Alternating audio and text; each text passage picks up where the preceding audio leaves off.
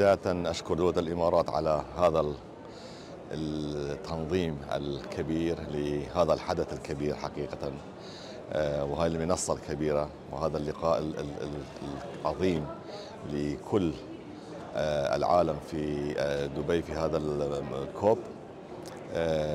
العراق هذه السنة مشارك بقوة وبفرق متنوعة. ووفود متنوعة رئاسية وفنية ودبلوماسية وحتى برلمانية بالإضافة إلى منظمات مجتمع مدني مشاركة مع العراق وفد الشباب موجود وفد المرأة موجودة وحتى القطاع العام والقطاع الخاص آه، متمثلين في الوفد العراقي. وفد كبير حقيقة وهي أول مرة العراق يشارك في مؤتمرات المناخ على هذا المستوى الكبير.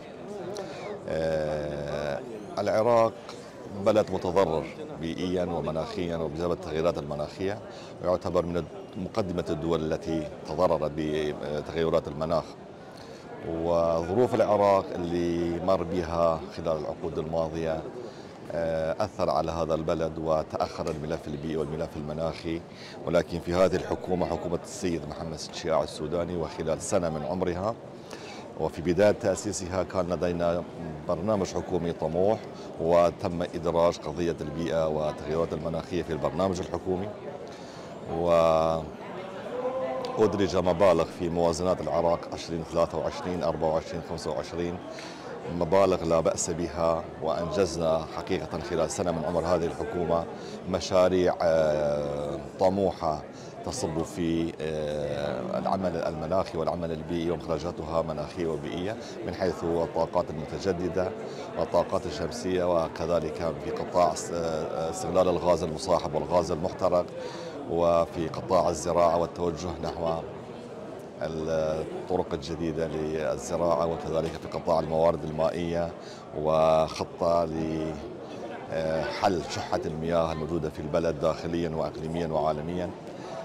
كل هذه الأمور دخلنا بها وأنجزنا حقيقة منجزات كبيرة خلال عمر هذه الحكومة. وحكومة العراق قررت منذ بداية تأسيسها أن تكون حكومة منفتحة على الجميع.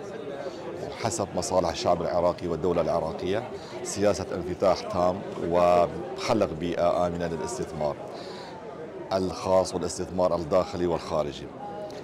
دولة الإمارات دولة مهمة في المنطقة دولة رائدة لدينا علاقات جيدة وجودنا هنا آه، نريد أن نعزز من هذه العلاقات وأن نوسع من هذه العلاقات ليشمل كل العمل المناخي. حقيقة الإمارات قد آه، تقدمت أشواط كبيرة في العمل المناخي والعمل الأقتصاد المستدام.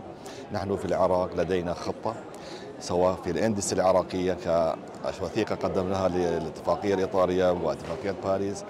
الخطة واضحة بأن العراق مستمر آه، بالتحول التدريجي الساند نحو الاقتصاد الأخضر بحلول 2035 والخطة واضحة في وطريقة العمل واضحة في ال NDC إحنا كوزارة البيئة في العراق وزارة البيئة لديها استراتيجية سيتم إطلاقها قريبا جدا. إحنا أنهينا الكثير من الوثائق والاستراتيجيات وفي شهر آذار من هذه السنة آه، قررنا في العراق بأنه العراق أكمل العمل الفني والتشريعي والتقني وبدأ ينتقل إلى العمل التنفيذي وفعلا دخلنا بدأ بالعمل التنفيذي. آه، هذا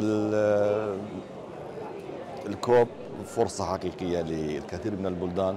قضية التغيرات المناخية قضية الكوكب ككل. نحن في العراق متبنين قضايا وطنية وقضايا أقليمية وقضايا عالمية ونحن بصدد آه، عقد مؤتمر في اقليمي في بداية السنة في شهر شباط أو شهر آذار أقليم العراق مع دولة ندعو الإمارات وندعو مصر باعتبارهما الرئيس السابق والرئيس الحالي